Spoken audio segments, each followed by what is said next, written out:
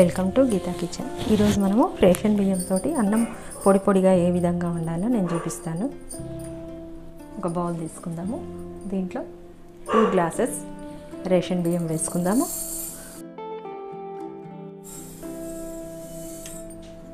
రెండు గ్లాసులు రేషన్ బియ్యం వేసుకున్నాను బౌల్లో. దీంట్లో కొద్దిగా సాల్ట్ వేసుకుందాం మనము. కొన్ని నీళ్ళు వేసుకోవాలి మనం. ఇట్లా గట్టిగా పిసుకుతూ కలుపుకోవాలి. ఇట్లా సాల్ట్ వేసి కొంచెం అన్నం వండినప్పుడు స్మెల్ రాదు.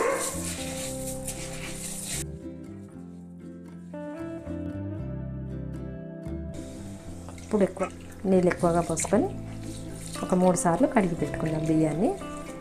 బాగా గట్టిగా పిసుకుతూ కడగాలి. ఈ నీళ్ళు వంపేసేద్దాము. ఒక మూడు సార్లు కడిగి పెట్టుకున్నాం ఇదే విధంగా. ఇప్పుడు నీళ్ళు పోసి నానబెడదాం బియ్యాన్ని. వేసరికి నీళ్ళు పెట్టుకుందాము గిన్నెలో.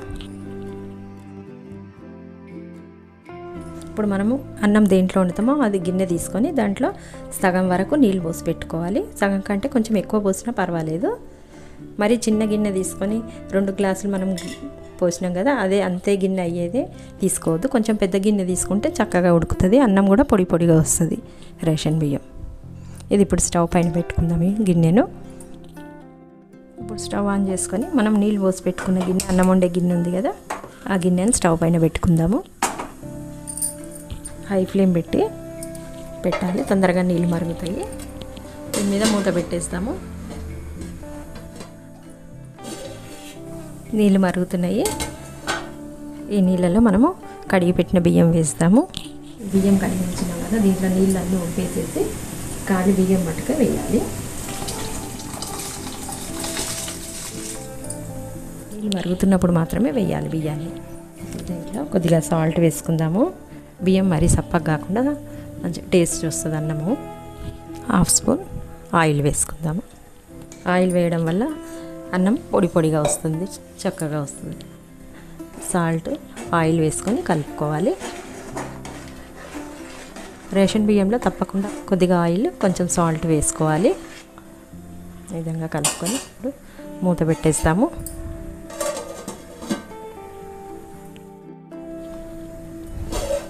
అన్నం ఉడుకుతుంది. ఇప్పుడు తీసి ఒకసారి కలుపుదాము.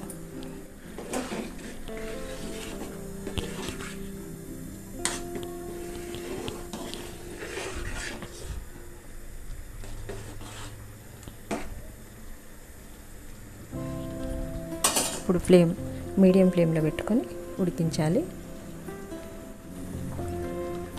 మరి మనం సన్నబియ్యం ఉడికించినట్టు మొత్తం ఉడికించొద్దు. ఒక సెవెంటీ ఎయిటీ పర్సెంట్ ఉడికించితే చాలు.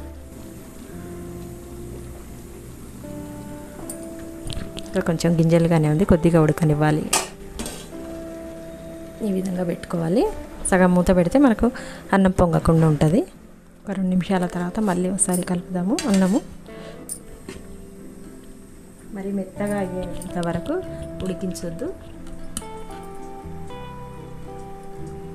కొద్దిగా లైట్గా అయితే పలికిరుగుతుంది. ఇప్పుడు గంజి ఉంపేద్దాము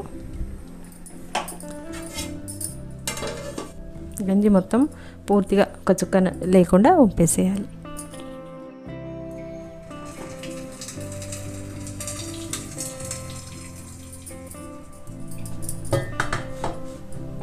ఈ విధంగా ఒక చుక్క కూడా లేకుండా వంపేయాలి గంజి.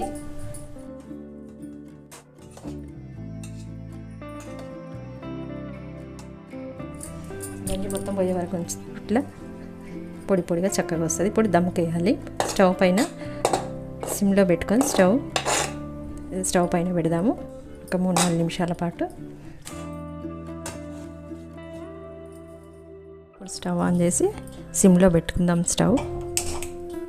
గంజంపిన గిన్నె అన్నం గిన్నె స్టవ్ పైన పెట్టుకుందాము. ఇట్లా దమ్కేయడం వల్ల కొంచెం గంజి ఉన్నా కూడా పోతుంది. అన్నం మొత్తం పొడి పొడిగా వస్తుంది. రెండు నిమిషాలు దమ్కేసినాక ఇప్పుడు మూత తీస్తాము. కొంచెం ఏమాత్రం కొంచెం గంజి ఉన్నా కూడా ఇట్లా దమ్కేస్తే పోతుంది. ఇప్పుడు మంచిగా చక్కగా పొడి పొడిలాడుతూ వచ్చింది అన్నం. స్టవ్ ఆఫ్ చేసేద్దాము. మీకు ప్లేట్లో వేసి చూపిస్తాను.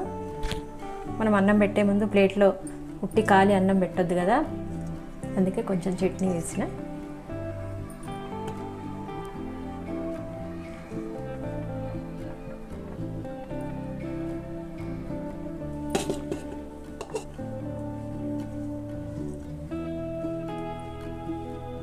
రేషన్ బియ్యం మంచిగా చక్కగా వచ్చింది. పొడి పొడిలాడుతూ ముద్దలాగా రాలేదు.